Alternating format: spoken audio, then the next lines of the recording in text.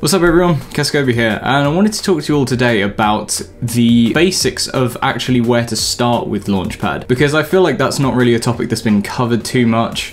It's kind of, you get presented with a tutorial and you're kind of stuck there, you don't really know how to set it up. So I wanted to present you guys with a couple of options today so that you can do some other kind of performances like I have been for the past few years. So I've had a few people message me basically saying, you know, I've just got a launchpad, what is the absolute first thing I should do? The obvious answer, of course, is subscribe to Kaskobi Tutorials, which is, if you don't know, my second channel, where I go over every single launchpad project that I've done, or at least most of them anyway, and give you a step-by-step, -step, like, breakdown guide showing you exactly what buttons I'm pressing in the video, just so that you can follow along and make sure that you're doing it in the same way. But apart from that, the actual thing that I wanted to talk about today was this app called Melodic You've probably heard about it in a few different videos that I've mentioned as well as one of my sponsors. But they very kindly reached out to me recently and they've basically said that they wanted me to run through the kind of tutorial sessions that they have on their app. And if you don't know what Melodics is, it's kind of the Duolingo equivalent of Launchpad learning. Now I say that this is something Launchpad related, but realistically you could use any other kind of MIDI button-based controller or anything like that. You can use keyboards, you can use drum sets, you can use other types of Launchpad, you could use an Ableton Push, or just, you know, go out, go all out and use one of these things, because, you know, why not? If you got them lying around, it'll work. But what I'm trying to say is it's very easy to get any kind of basic basic controller and hook it up to Melodics. So jumping right into the app, you'll see that this is the home screen, kind of giving you like a visual representation of your progress with all of their lessons so far. You can see your streaks for how long you've been working on certain performances and certain skills. And as you can see, mine is just a bit pathetic, but Hey yo, there you go. So that's the main homepage, and then going over to the learning page, you've got a few lessons that you can go through once you've got the absolute basic skills down. There's a few kind of courses as well, which are kind of grouped together lessons that all kind of cover the same topic. And there's also the guided path feature, which is the one that I'm going to be mostly covering in this video, but I'll get to that once I've covered the rest of the app. And then finally got the settings page where you can configure your volumes and whatever kind of device you want to use with Melodics. And you can test your audio here to make sure everything works.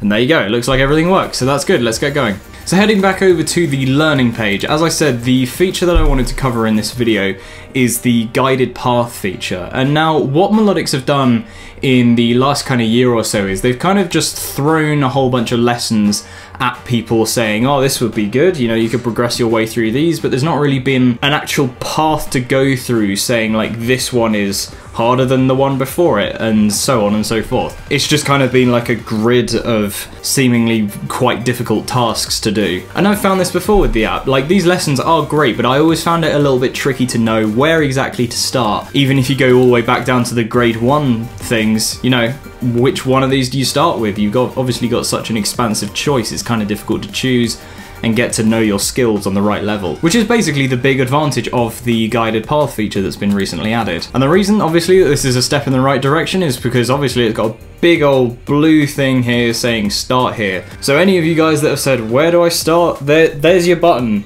There you go.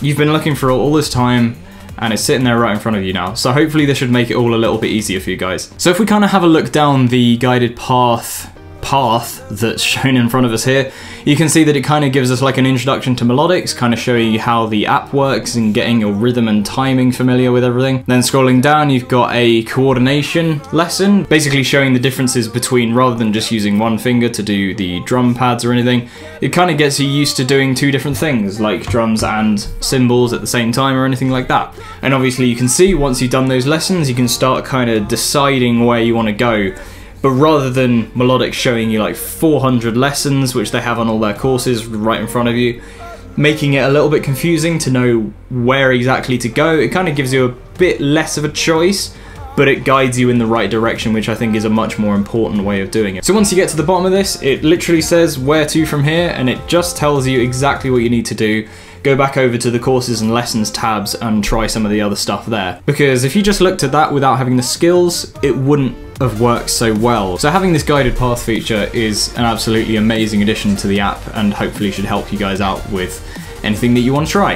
And obviously you don't have to go back to the courses and lessons bit. I feel like once you've done this little tutorial bit, you guys will have a much better understanding of rhythmic ability and the coordination between either your left hand and right hand, or also different fingers on each hand being able to control different instruments. But it's always important to get the main skills in first. You gotta build the framework before you build the fancy stuff, because otherwise all the fancy stuff will just fall apart.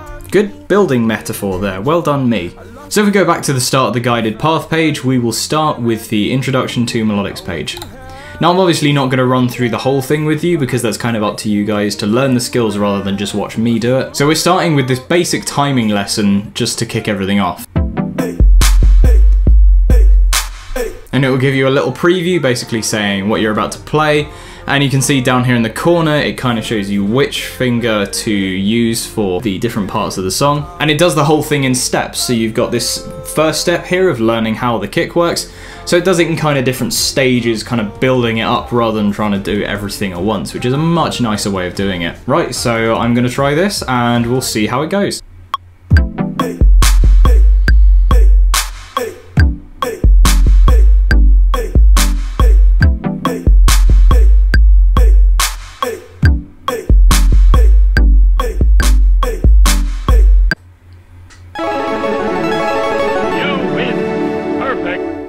Well, there you go. That was, uh, well, that, that was one note. That was pretty easy. But as you can see, basically the way the player works is it kind of shows you roughly where to hit the note.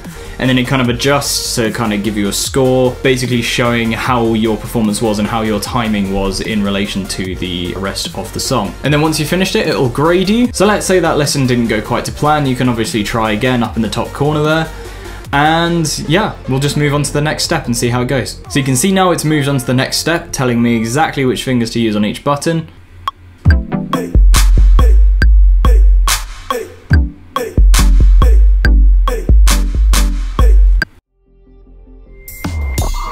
So let's move on to the next step. So here we go, we're now playing with the rest of the track, basically performing the same thing that I just did, but now with a little bit more context for the rest of the song.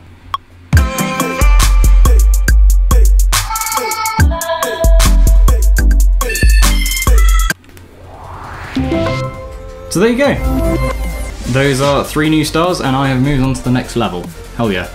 And you can see once you finish the last lesson, it'll directly take you on right to the next lesson so you know exactly where you're going. It will show you exactly what you need to do, bringing you forwards right to the next lesson. So you can see this one sounds a little bit more complicated, so let's give it a try. And you can see if you mess up, it does actually make a difference. So let's give that another try because that was probably the worst attempt of my life.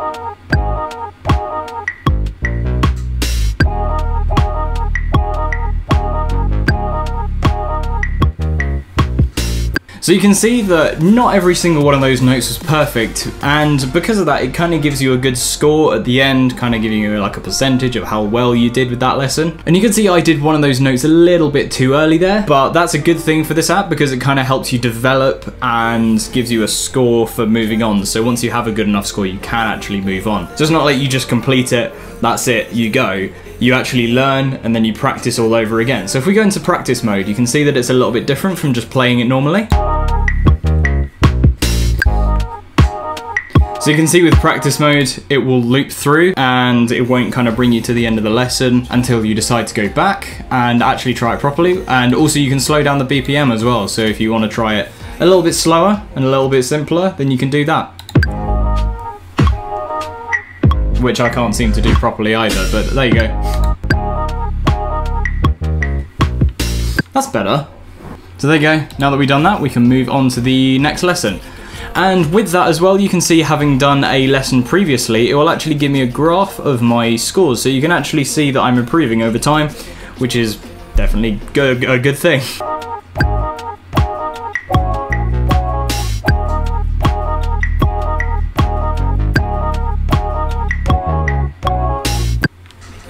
There you go. And it says pass first try, so we can just move on to the next step without needing to see the improvements over any last tries. So this will be the final step of playing this little uh, practice session here, so let's do that now.